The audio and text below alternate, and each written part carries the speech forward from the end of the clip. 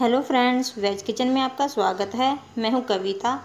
आज मैं आपके लिए लाई हूँ बहुत ही टेस्टी एंड डिलीशियस रेसिपी, जिसे आप गेस्ट के आने पर भी सर्व कर सकते हैं। यह एक स्वीट डिश है, फलूदा कस्टर्ड। इसे हम दो तरह से बनाएँगे और ये बहुत ही सिंपल रेसिपी है। साथ ही हम आपके साथ शेयर करेंगे कुछ टिप्स। तो फ्रेंड्स, हमारी वीडियो को शुरू से लेकर लास्ट तक पूरा देखें, बिल्कुल भी स्किप ना करें। फलूदा कस्टर्ड बनाने के लिए ये मैंने लिया है एक लीटर दूध। एक गिलास पानी, साथ ही मैंने लिया है फलूदा मिक्स का पैकेट। इसी से हम फलूदा कस्टर्ड तैयार करेंगे। ये केसर पिस्ता फ्लेवर का है फ्रेंड्स। इसमें हमें चीनी डालने की भी ज़रूरत नहीं है। ये ऐसे ही तैयार हो जाएगा। अब सबसे पहले हम इसमें डाल रहे हैं एक गिलास पानी। ये मैंने फुल क्रीम दूध लिया है। अब इसको मैं फ्लेम पर गर्म होने के लिए रख देती हूँ। तो ये देखिए, जब ये दूध हमारा उबल जाएगा, तब मैं इसमें ऐड करूँगी फलूदा मिक्स। तो इसको हम चला देते हैं, जिससे कि तली में लगे नहीं, और इसको उबाल आने तक हम इसको पकाएँगे अच्छे से हाई फ्लेम पर। ये देखिए फ्रेंड्स दूध में उबाल आ गया है। अभी ऊपर निकल रहा है तो मैं इसको फ्लेम को लो कर देती हूँ। और ये मैंने लिया है फलूदा मिक्स का पैकेट। इसको मैंने खोल लिया है। ये देखिए, मैं आपको प्लेट में डाल के दिखाती हूँ। ये देखिए, इसमें फलूदा के साथ में चीनी भी ऐड है, इसलिए हमें अलग से चीनी डालने की ज़रूरत नहीं है। इसमें साथ ही किशमिश वगैरह भी ऐड है। अब मैं इसको इसमें डाल देती हूँ और इसको अच्छे से मिक्स कर दूँगी चलाते हुए। इसे हम लगातार चलाते हुए लो टू मीडियम फ्लेम पर 20 से 25 मिनट के लिए पकाएँगे। जिससे कि हमारा बाहर भी ना निकले और साथ ही हम इसे लगातार चलाते रहेंगे, जिससे कि हम साइडों में ये चिपके नहीं। तो ये देखिए फ्रेंड्स, इसको पकते हुए पंद्रह मिनट हो गए हैं। यह भी इतना गाढ़ा हुआ है। अब इसे हम और पकाएँगे। ये अभी हमारा परफेक्ट नहीं हुआ है। ये एकदम क्रीमी लुक आने तक हमें इसे पकाना है। तो ये देखिए फ्रेंड्स, इसको पकते हुए 25 मिनट हो गए हैं। ये देखिए, ये काफ़ी गाढ़ा हो गया है। बस हमें इतना ही चाहिए। अब मैं इसमें ऐड करूँगी कुछ बादाम। ये मैंने लंबे लंबे टुकड़ों में कट करके रख रखा था। अब मैं इसमें डाल दूँगी। साथ ही मैं ले रही हूँ चिरौंजी। ये देखिए फ्रेंड्स, ये लगभग दो चम्मच के करीब मैंने चिरौंजी लिए है। इसको भी हम इसमें डाल देंगे। थोड़े से फ्रेंड्स हम इसमें से बचा लेंगे ड्राई फ्रूट्स, क्योंकि हम इसमें बाद में भी ऐड करेंगे। आप चाहें तो इसमें काजू पिस्ता भी ऐड कर सकते हैं। तो ये देखिए, काफ़ी गाढ़ा हो गया है। अब मैं फ्लेम को ऑफ़ कर रही हूँ। वाह इसका टेक्सचर आप देख सकते हैं, ये एकदम क्रीमी हो गया है। और ये देखिए, ये चम्मच पर अच्छे से कोट हो रहा है। इसका मतलब ये अच्छे से पक गया है। तो अब इसको हम रूम टेम्परेचर पर आने तक ठंडा करेंगे।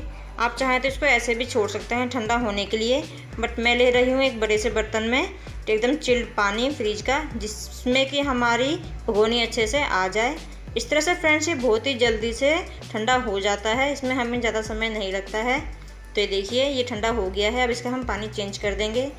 तो फ्रेंड्स इसका पानी हमें तब तक बदलना है जब तक कि ये अच्छे से रूम टेम्परेचर पर ना आ जाए।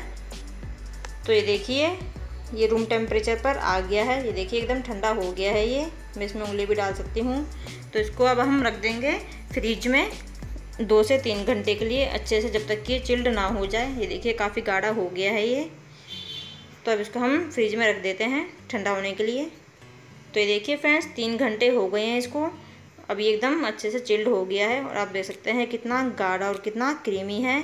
अब इसको हम सर्व करेंगे बाउल में। फ्रेंड्स इस तरह से कस्टर्ड बना कर ज़रूर ट्राई कीजिए। यह खाने में बहुत ही ज़्यादा टेस्टी और बहुत ही ज़्यादा डिलीशियस लगता है। आप देख सकते हैं कितना क्रीमी लुक है। इसका एकदम गाढ़ा बन के तैयार हुआ है। अगर आप थोड़ा कम गाढ़ा पसंद करते हैं तो आप 20 मिनट बाद भी फ्लेम ऑफ़ कर सकते हैं। तो ये देखिए, इसको हमने सर्व कर दिया है और इतना हमारा ये बच भी गया है। ये हमारी छः कटोरी के लगभग बनकर तैयार हुआ है। अब इससे मैं दो तरह के कस्टर्ड तैयार करूँगी fruit custard and dry fruit custard तो ये मैंने ली है चिरौंजी, दोनों बाउल में मैं चिरौंजी ऐड कर दूँगी। साथ ही इन दोनों बाउल में मैं ऐड करूँगी कटे हुए बादाम। आप अपनी पसंद के कोई भी ड्राई फ्रूट्स ले सकते हैं, पिस्ता, काजू, जो भी आपको पसंद हो। अब इन दो बाउल में मैं ऐड करूँगी फ्रूट्स। ये मैंने लिया है एक मैंगो, यानी कि आम। इसको भी मैंने छोटे छोटे पीसेस में कट कर लिया है। इन दो बाउल में मैं ऐड करूँगी मैंगो। देखिए, इसमें भी मैं मैंगो ऐड कर देती हूँ। साथ ही मैंने लिए हैं केला। इसको भी मैंने छोटे छोटे पीसेस में कट कर लिया है। अब इन दोनों बाउलों में ऐड कर दूँगी केला। फ्रेंड्स, फ्रूट्स आप अपने पसंद के ले सकते हैं, अंगूर, स्ट्रॉबेरी, जो भी आपको पसंद हो, आप उसी से अपना कस्टर्ड तैयार कर सकते हैं। तो देखिए फ्रेंड्स चारों बाउल हमारे रेडी हैं। अब इसमें मैं ऐड करूँगी रूअफ़ज़ा तो देखिए फ्रेंड्स, इसको मैंने ट्रे में रख दिया है। ये मैंने लिया है रूअफ़ज़ा इससे मैं इसको अच्छे से गार्निश करूँगी। ये देखिए फ्रेंड्स कितना अच्छा इसमें लुक आया है रूअफ़ज़ा के ऐड करने से। इससे बहुत ही अच्छी खुशबू बहुत ही अच्छा फ्लेवर आता है। तो देखिए, हमने चारों बाउल में रूअफ़ज़ा ऊपर से ऐड कर दी है। तो लीजिए फ्रेंड्स रेडी है हमारा ठंडा ठंडा फलूदा कस्टर्ड फ्रेंड्स आप देख सकते हैं इसकी लुक आप अगर बच्चों के आगे रखेंगे तो ये बिल्कुल भी नहीं बचेगा। ये देखिए, इसका टेक्सचर कितना क्रीमी कितना गाढ़ा बनकर तैयार हुआ है। ये सच में फ्रेंड्स बिलीव में बहुत ही ज़्यादा टेस्टी बनकर तैयार हुआ है। और इसको बनाने में हमारा टोटल समय लगा है 25 मिनट। तो देखिए फ्रेंड्स मैं इसको आपको पास से दिखाती हूँ। ये देखिए, जब हम फलूदा ये खाते हैं तो इसमें ये जो फ्रूट्स के ड्राई फ्रूट्स के जो क्रंचीज आते हैं, ये बहुत ही ज़्यादा टेस्टी लगते हैं और ये बहुत ही हेल्दी भी हैं। तो फ्रेंड्स इसे बना के घर में ज़रूर ट्राई कीजिए और आपको हमारी आज की रेसिपी कैसी लगी, हमें कमेंट करके ज़रूर बताइए। हमारी और वीडियोज़ के लिंक नीचे डिस्क्रिप्शन बॉक्स में दिए गए हैं। आपको हमारी आज की वीडियो पसंद आई हो तो इसे ज़्यादा से ज़्यादा शेयर करें और हमारी वीडियो को लाइक एंड चैनल को सब्सक्राइब करना ना भूलें। Bye friends